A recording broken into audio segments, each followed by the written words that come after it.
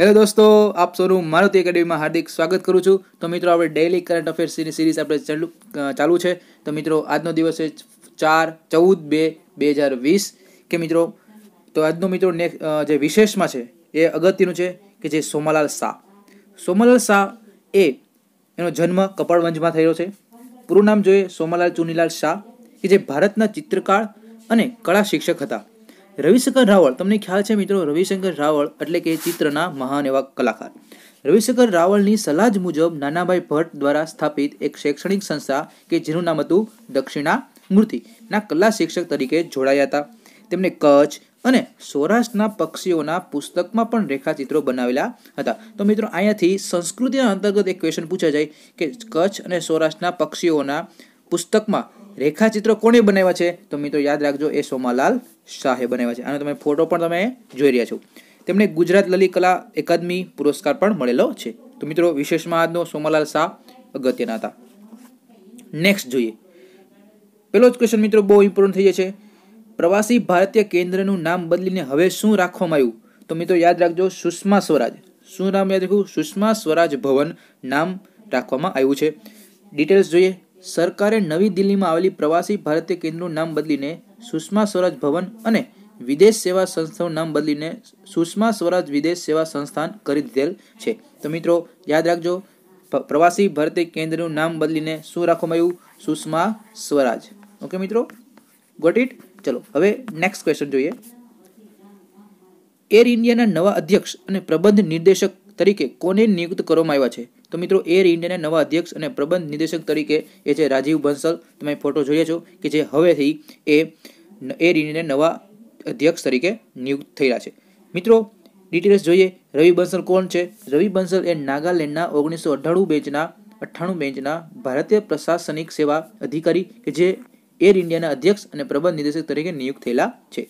બંસલ એ વર્તમાન હાલમાં હાલમાં શું છે? હાલમાં એ પેટ્રોલિયમ અને પ્રાકૃતિક ગેસ મંત્રાલયના સચિવ તરીકે પણ કાર્યરત છે. ઓકે મિત્રો, હવે નેક્સ્ટ જોઈએ. ભારતમાં સૌથી મોટું, ભારતમાં સૌથી મોટું વાયુ ગુણવત્તા પર ધ્યાન રાખતું રાખતું નેટવર્ક ક્યાં સ્થાપવામાં આવ્યું? મિત્રો એર ક્વોલિટી ઓકે મિત્રો, તો એર ક્વોલિટી અંતર્ગત આ ક્વેશ્ચન મિત્રો ઇમ્પોર્ટન્ટ બની જાય છે, એટલે કે એન્વાયરમેન્ટના અંતર્ગત. કયું છે? મુંબઈ. મુંબઈના નેવું સ્ટેશન ઉપર વાયુ ગુણવત્તા પર ધ્યાન રાખતું એક તંત્ર સ્થાપવામાં આવ્યું છે કે જે દિલ્હીને પછાડીને ભારતનું પહેલા નંબરનું વાયુ ગુણવત્તા પર આધાર રાખતું એક નેટવર્ક બની જશે. નેક્સ્ટ જોઈએ. તાજેતરમાં નવું તાજેતરમાં નવું સેનાએ કે સંસ્થાને પ્રેસિડેન્ટ કલર કોને આપવામાં આવ્યા છે? તો પ્રેસિડેન્ટ કલર એ કઈ એવી સેનાને આપવામાં આવ્યા છે તાજેતરમાં? તો એ મિત્રો છે, તમે જોઈ છો, નેશનલ ડીડી ડીડી નેશનલ પણ આવેલું હતું. President colour award ceremony to INS Shivaji. તો મિત્રો આઈએનએસ શિવાજી કે જેને પ્રેસિડેન્ટ કલર તરીકે સિલેક્ટ કરવામાં આવ્યું છે, રામનાથ કોવિંદ કે જે આપણા રાષ્ટ્રપતિના મહારાષ્ટ્રના લોનાવાલામાં ભારતીય સેનાની શિવાજીને રેસિડેન્સ કલર તરીકે એવોર્ડ આપવામાં આવ્યો છે. કેસરી કલર એ કોઈ પણ સેનનો સૌથી મોટા મોટો આ એક સન્માન છે મિત્રો, ઓકે? રેસિડેન્ટ કલર છે એ સૌથી મોટા મોટો એ સેનનો સૌથી મોટો એક સન્માન છે. એટલા માટે કોને મેળવ્યો છે? આઈએનએસ શિવાજી. તમે ફોટો જોઈ શકો જોઈ શકો છો. નેક્સ્ટ ક્વેશ્ચન જોઈએ. બીજી બીમસ્ટેક મિત્રો બીમસ્ટેકની ડિઝાસ્ટર મેનેજમેન્ટ એક્સરસાઇઝનો અભ્યાસ ટ્વેન્ટી ટ્વેન્ટીનું આયોજન ક્યાં થયું? તો મિત્રો થયું છે ભુવનેશ્વરમાં. તમે જોયો છો સેકન્ડ બીમસ્ટેક ઓકે જોઈ રહ્યા છો તમે ડિઝાસ્ટર મેનેજમેન્ટ એક્સરસાઇઝ અભ્યાસ ક્યાં? અગિયાર ફેબ્રુઆરીથી તેર ફેબ્રુઆરી સુધી કરવામાં આવ્યો હતો. આ આજે છે, આજે અભ્યાસ છે. એ અભ્યાસમાં ભૂકંપ, વાવાઝોડું તથા પૂર જેવા આપત્તિઓ સામે રક્ષણ કરવા માટેનો અભ્યાસ કરવામાં આવ્યો હતો. બિમસ્ટેક એ દક્ષિણ એશિયા તથા દક્ષિણ પૂર્વ એશિયાના સાત દેશોનો સમૂહ છે. હેડક્વાર્ટર ક્યાં છે બિમસ્ટેકનું? હેડક્વાર્ટર ઢાકા, એટલે કે જે બાંગ્લાદેશમાં આવેલું છે. એના સાત સભ્યો ક્યાં ક્યાં? સૌથી પ્રથમ ભારત, બીજું નેપાળ, ત્રીજું બાંગ્લાદેશ, ચોથું ભૂટાન, પાંચમું શ્રીલંકા, છઠ્ઠું મ્યાનમાર અને સાતમું છે થાઈલેન્ડ ઓકે મિત્રો નેક્સ્ટ ક્વેશ્ચન જોઈએ. મિત્રો બહુ એટલે બહુ મોસ્ટ ઇમ્પોર્ટન્ટ આઈએમપી સ્પોર્ટ્સના અંતર્ગત ક્વેશ્ચન આવી ગયું છે. તૈયાર થઈ જાઓ. પ્રથમવાર પહેલી વાર મિત્રો, એક યાદ રાખો મિત્રો, જ્યારે જ્યારે પહેલી વાર થઈ ગયેલું હોય, સૌથી મોટું હોય, સૌથી નાનું હોય, તો મિત્રો આ જે ક્વેશ્ચન એ સૌથી મોટો કરંટમાં ઇમ્પોર્ટન્ટ બની છે. અને એવા જ ક્વેશ્ચન વારંવાર એક્ઝામમાં પૂછાતા હોય છે. તો એવો જ ક્વેશ્ચન આવી ગયો છે. પ્રથમવાર કયો ભારતનો ખેલાડી હોકીમાં ને F I H F I H પ્લેયરનો player of the year પુરસ્કાર જીતો છે. તો કોણ છે? મનપ્રીત સિંહ. આ પુરસ્કાર જીતનારો ભારતનો પહેલો એવો ખેલાડી બની ગયો છે. Okay next question Akhil Bharatiya પ્રવાસન મંત્રીનું મંત્રી પરિષદનું આયોજન ક્યાં કરવામાં આવ્યું? અખિલ ભારતીય પ્રવાસન મંત્રીનું પરિષદ એ કરવામાં આવ્યું કચ્છ. ક્યાં કર્યું મિત્રો? કચ્છ. આપણા ગુજરાતમાં કરવામાં આવ્યું છે. આ આજે પ્રવાસન પરિષદ છે, એ ભારતમાં, એ ભારતના તમામ રાજ્યના પ્રવાસન મંત્રીઓ ઉપસ્થિત રહ્યા હતા. આ કેન્દ્રીય પર્યટન અને સંસ્કૃતિ મંત્રાલય દ્વારા કચ્છના ઘોરડો, ધોરડો ટેન સિટી તેર ફેબ્રુઆરીથી પંદર ફેબ્રુઆરી સુધી કરવામાં આવશે. અને આનો સબ્જેક્ટ શું હતો? Destination management and community participation આદિજાતિ મહોત્સવ ક્યાં યોજશે મિત્રો એસટીની એક્ઝામ નજીક છે પીએની એક્ઝામ પણ નજીક છે. તો મિત્રો, આ આદિજાતિ અંતર્ગત તમારા આદિવાસીના અંતર્ગત એક્ઝામમાં આવી શકે આવા ક્વેશ્ચન તો આદિજાતિ મહોત્સવ ક્યાં યોજાશે? એ યોજશે વ્યારામાં યોજવાનો છે. તમે એ જોઈએ છો આદિવાસી યુવા સાંસ્કૃતિક મહોત્સવ વ્યારા. રાજ્ય સરકાર દ્વારા દર વર્ષે અધિક, દર વર્ષે દર વર્ષે આ મહોત્સવ ઉજવણી કરવામાં આવે છે. તાપી જિલ્લામાં વ્યારા ખાતે ચૌદ ફેબ્રુઆરીથી ના, રોજ સત્યાવીસમો આદિજાતિ મહોત્સવ ઉજવવામાં આવશે. બે હજાર વીસ છે, મિત્રો. કેટલા મોતો સત્યાવીસમો, ઓકે? યાદ આવ્યો સત્યાવીસમો. આઝાદી સમાજની ભવ્ય, આઝાદી સમાજની ભવ્ય અને ઐતિહાસિક વિરાસત પરંપરાગત વારસો અસ્મિતા ટકાવવા માટે આ મહોત્સવ યોજવામાં આવે છે. ઓકે, મિત્રો? નેક્સ્ટ જોઈએ. ભારતીય રેલવે અને રશિયન રેલવે ઇન્ટરનેશનલ બંને ગુજરાતના કયા બે શહેરોમાં semi high speed railway project માટે સહભાગી દર્શાવી છે? મિત્રો, એક એક સાઈડ છે આપણી એક સાઈડ છે આપણા ગુજરાતના સીએમ અને બીજી બાજુ છે રશિયાના. ઓકે મિત્રો, તો ગુજરાત અને રશિયાના એક સહભાગી, એક high speed semi high speed railway project બન્યો છે. એમાં કયા કયા શહેરો છે? જે છે અમદાવાદ અને રાજકોટ. રશિયન સરકારના જાહેર સાહસ in railway RJD R Z R Z D. તો આર ઝેડ ડી ઇન્ટરનેશનલ અને ભારતીય રેલવે અમદાવાદ રાજકોટ સુધી થયું છે.